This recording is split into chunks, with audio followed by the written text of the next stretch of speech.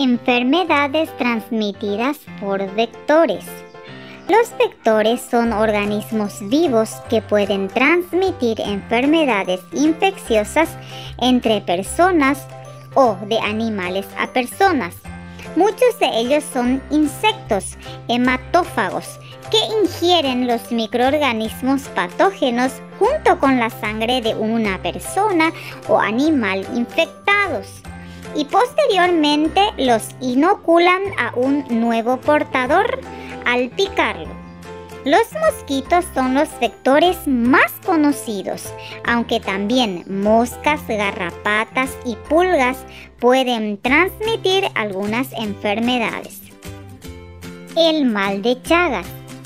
El parásito que causa esta enfermedad es el Trypanosoma cruzi y llega a nuestro cuerpo a través de un insecto conocido como vinchuca, Shishanwasu en guaraní.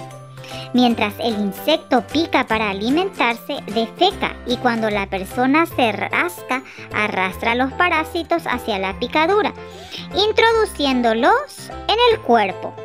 Aunque la anterior es la forma más frecuente, también puede contraerse por vía congénita esto es de madre a hijo durante el embarazo o por transfusiones de sangre contaminada.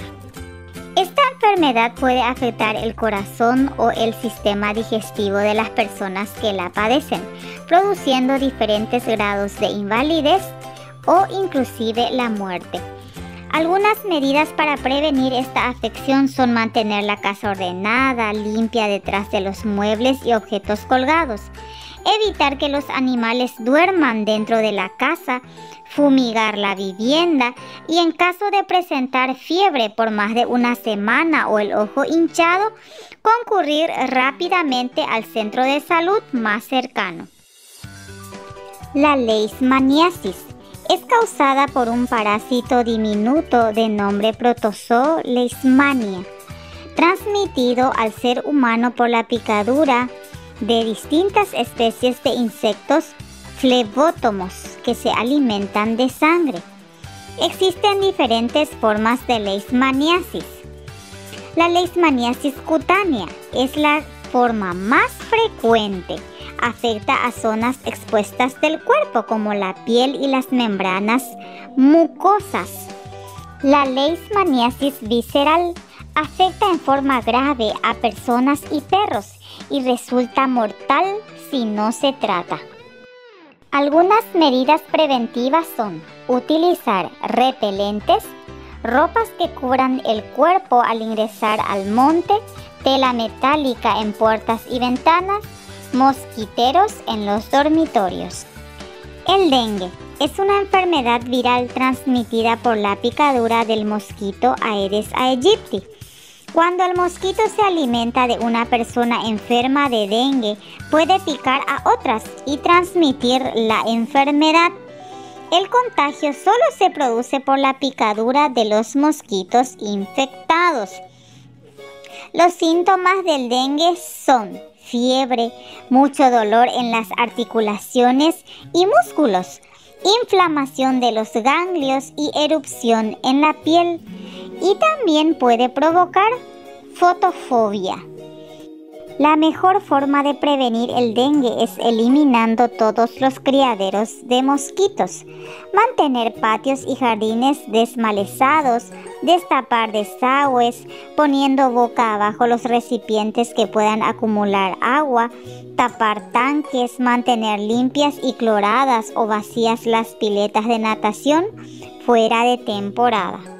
Completamos. Los vectores entonces son pequeños organismos como la vinchuca, el mosquito, la garrapata, que con una sola picadura pueden transmitir enfermedades como el dengue, mal de Chagas y la leishmaniasis.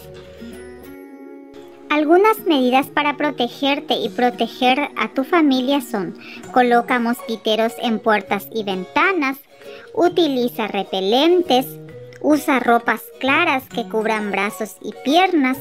Dota a las camas de mosquiteros. Limpia los patios y espacios verdes. Y elimina los objetos donde el agua se acumule y los mosquitos puedan reproducirse.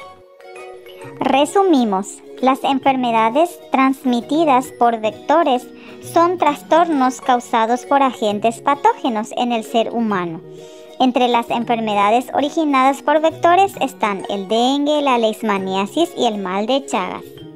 Leemos las siguientes oraciones y marcamos si se trata de bacterias, hongos o virus. En la primera oración nos dice un científico observa organismos con forma esférica de bastón y de espirales. Se refieren a las bacterias. Se alimenta de otros organismos por medio de la absorción. Hablamos de los hongos. Necesitan de otro organismo para llevar a cabo su ciclo de vida. Estamos hablando de los virus. Son todas unicelulares y pueden clasificarse según su forma, las bacterias. Se pueden encontrar en forma unicelular como las levaduras y multicelular como las setas, son los hongos.